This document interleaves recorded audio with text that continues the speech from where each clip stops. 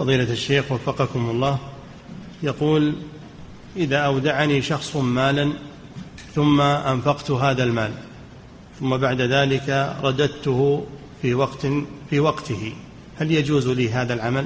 لا لا يجوز لك هذا العمل. الوديعة أمانة لا تتصرف فيها إلا بإذن صاحبها.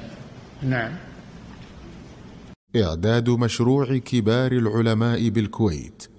أعزها الله بالتوحيد والسنة.